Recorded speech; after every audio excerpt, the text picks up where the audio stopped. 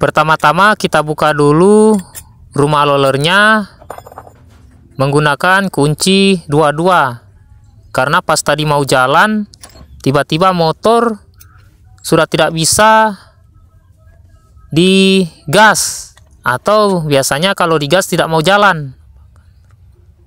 Nah, dan ini rumah lolernya yang sudah saya buka tadi. Pas digoyang ini bunyinya sangat berisik seperti ketika mesin dihidupkan. Pas aku buka, wah ternyata roller di bagian dalam ini sudah hancur bahkan sudah tidak rata lagi, sudah banyak yang peang. Pantesan saja bunyi suara mesin itu sangat berisik. Pas aku cek, ternyata roller di bagian permukaannya ini sudah tidak rata, sudah tergali atau sudah penyok-penyok. Nah, jadi teman-teman jika mempunyai lolor seperti ini jangan dibuang. Cukup sediakan selang hitam atau pipa hitam. Ini pipa hitam karena teksturnya ini sangat keras seperti kulit bagian luar dari roller tersebut teman-teman. Ini pipa hitam ya. Dan karena pipa hitam ini terkenal sangat kuat jadi teman-teman cukup sediakan gergaji besi dan satu buah pipa hitam dengan ukuran yang pas yang biasa bagian lornya itu masuk. Setelah diukur, jangan lupa untuk diberi tanda dan langsung saja dipotong. Ini cara yang sangat sederhana. Pasti teman-teman bisa melakukannya di rumah. Ini sudah proses, saatnya untuk kita tinggal sedikit dipotong agak membutuhkan tenaga ekstra karena pipa hitam ini sangat keras. Bayangkan gergaji besi saja sampai harus ditekan kuat. Nah, dan ini sudah terpotong, saatnya untuk dipisahkan dari bagian yang tadinya.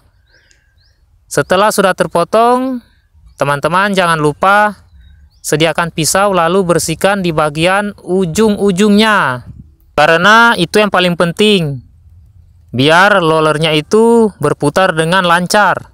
Sediakan roller bekas yang tadi barusan dibuka, yang sudah tidak bisa dipakai. Jangan lupa teman-teman sediakan pisau dan dipotong di bagian permukaannya seperti ini. Ini pasti teman-teman bisa di rumah.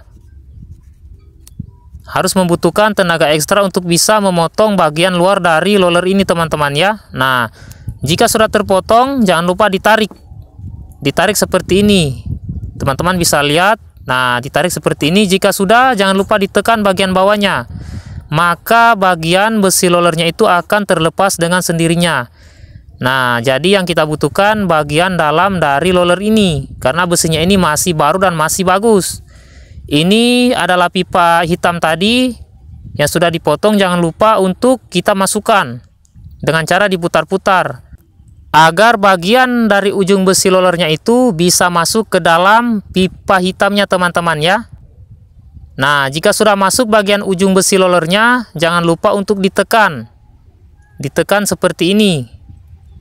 Ditekan dengan cukup kuat agar dia bisa masuk dengan merata. Ya ini sudah masuk sudah merata saatnya untuk kita luruskan kembali. Dan ini sudah lurus. Ini sudah jadi. Lihat kan ini cara yang sangat sederhana. Dan ini keenam lollernya sudah jadi, saatnya untuk dipasang. Saya peringatkan ya teman-teman, ini hanya sifat sementara. Dan jangan lupa kita sediakan AHM CVT. Ini untuk eh, dioleskan di bagian dalam rumah lollernya agar putaran lollernya itu semakin lancar.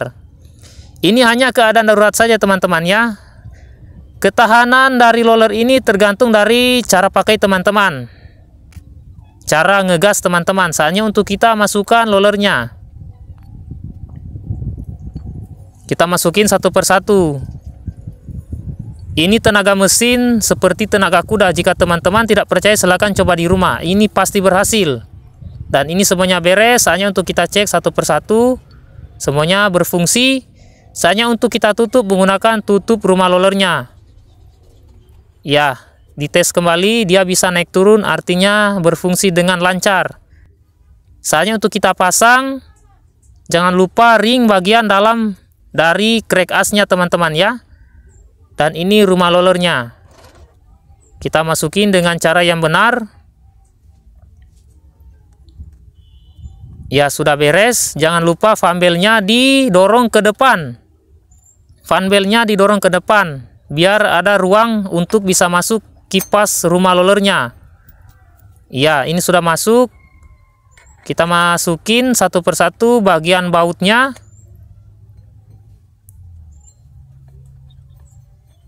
Nah, jika sudah satu persatu dimasukin, jangan lupa pasang ring.